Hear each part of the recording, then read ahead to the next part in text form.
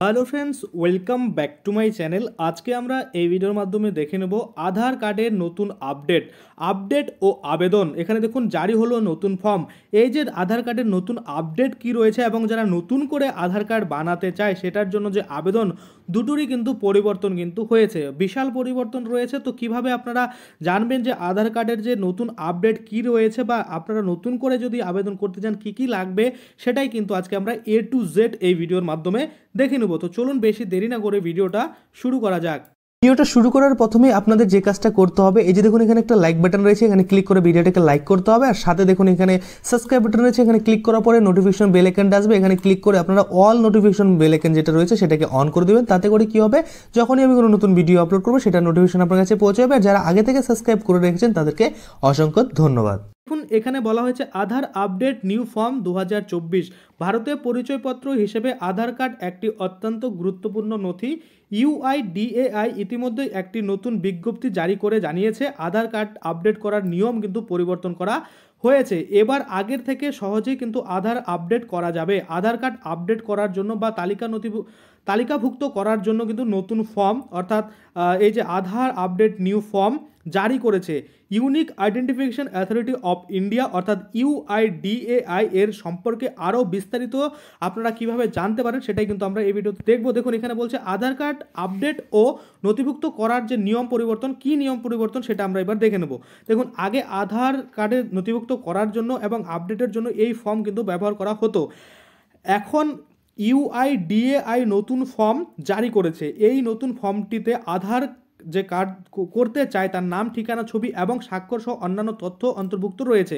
নতুন নিয়ম অনুসারে ভারতীয় বাসিন্দা এবং অনাবাসী ভারতীয়রা আধার তালিকাভুক্তি এবং আপডেটের জন্য আবেদন করতে পারবে। নতুন নিয়মগুলি তথ্য আপডেট করাকে আরও সহজ করে তুলেছে। এখন আধার কার্ডধারীরা অনলাইন বা তালিকাভুক্তি কেন্দ্রে গিয়ে কিন্তু তাদের যে তথ্য সেটা কিন্তু আপডেট করাতে পারবে।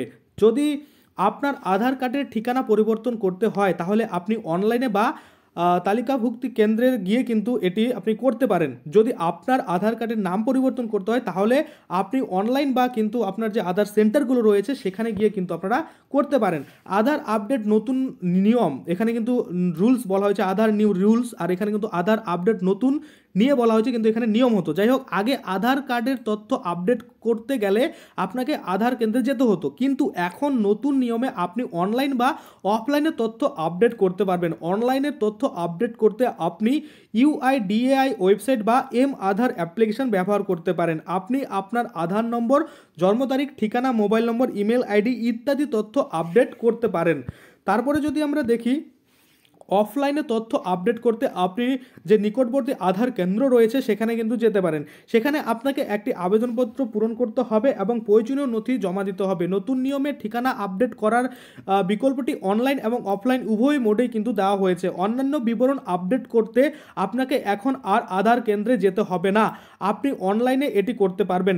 ভবিষ্যতে মোবাইল নম্বরটিও অনলাইনে আপডেট করার সম্ভাবনা রয়েছে। এটি আধার কার্ড ব্যবহারকারীদের জন্য আরও কিন্তু সুবিধাজনক। আধার কার্ড নতুন ফর্ম এবার যদি আমরা দেখি নতুন ফর্ম আপনি যদি একজন আঠেরো বছর বয়সী ভারতীয় নাগরিক হন, আপনি যদি আধারের জন্য তালিকাভুক্ত না হন, তবে আপনি ফর্ম ওয়ান ব্যবহার করতে পারেন। আপনি যদি ইতিমধ্যে একটি আধার কার্ড থাকে, তবে আপনি আপনার নাম, ঠিকানা বা অন্যান্য বিবরণ আপডেট করতে ফর্ম ওয়ান ব্যবহার করতে পারেন। তারপরে যদি দেখি এখানে কি বলা হয়েছে, ধরুন আপনি একজন বারো বছর বয়সী ভারতীয় নাগরিক, আপনি যদি আধারের জন্য তালিকাভুক্ত হন, তবে আপনি ফর্ম থ্রি ব্যবহার করতে পারেন।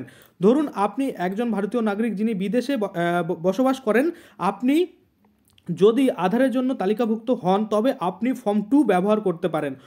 আবার যদি আমরা দেখি, এখানে বলা হয়েছে নতুন ফর্মের ব্যবহার, আঠারো বছর বা তার বেশি বয়সী বাসিন্দা এবং এনআরআই যে রয়েছে, তারা ফর্ম ওয়ান ব্যবহার করবেন। এই ফর্মটি তালিকাভুক্তি এবং আপডেটের জন্য ব্যবহার করা যেতে পারে। ভারতের বাইরে ঠিকানা সহ এনআরআইরা ফর্ম টু ব্যবহার করবেন, যেগুলো আমি একটু আগে আপনাদের বললাম। এই ফর্মটি তালিকাভুক্তি এবং আপডেটের জন্য ব্যবহার করা যেতে পারে।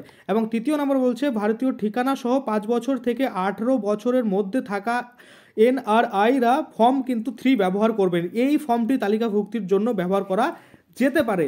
এই পরে আমরা যদি আরেকটু দেখি, বিদেশি ঠিকানা সহ পাঁচ বছরের কম বয়সী এনআরআই যারা রয়েছে, তাদের কিন্তু বাচ্চারা ফর্ম কিন্তু বাচ্চারা কিন্তু ফর্ম চার নাম্বার যেটা রয়েছে সেটা কিন্তু ব্যবহার করবে। এই ফর্মটি তালিকাভুক্তির জন্য ব্যবহার করা যেতে পারে। বিভিন্ন অন্যান্য বিভাগের জন্য form five six seven eight অর্থাৎ পাঁচ, ছয়, সাত, আট এবং নয় কিন্তু রয়েছে। এবার যদি আমরা বলি আধার কার্ড আপডেট করার জন্য বা তালিকা, তালিকাভুক্ত করার জন্য নতুন ফর্ম যেটা রয়েছে, সেটা জারি করেছে, যাতে আরও সহজে নতুন আপডেট কিন্তু আপনারা বা আবেদন কিন্তু আপনারা করতে পারবেন। অর্থাৎ আপডেট বলুন বা আবেদন বলুন বা সংশোধন বলুন, সেটা কিন্তু করতে পারেন।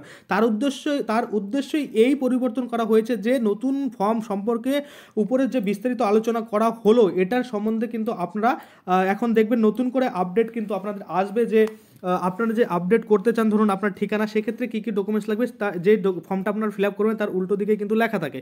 এবার কথা হচ্ছে, আপনারা বলবেন যে, এগুলো তো আগে থেকেই হতো, তাহলে নিয়ম কি পরিবর্তন হলো? তো এবার আমি আপনাদের বলে দিই, নিয়মে কিছু পরিবর্তন হয়নি, কিন্তু অনেক নিয়ম পরিবর্তন আবার হয়েছে। যেমন, আগে যে ফর্মটা ছিল, সেটার ফরম্যাটটা কিন্তু অন্যরকম ছিল, আর এখনকার যে ফরম্যাট সেটা কিন্তু একদমই আলাদা রয়েছে। অর্থাৎ সব কিছু ঠিকানা ফিকানা যেগুলো বেসিক ডিটেলস সেগুলো তো একই থাকে, কিন্তু কিছু কিছু জায়গায় চেঞ্জেস করা হয়েছে।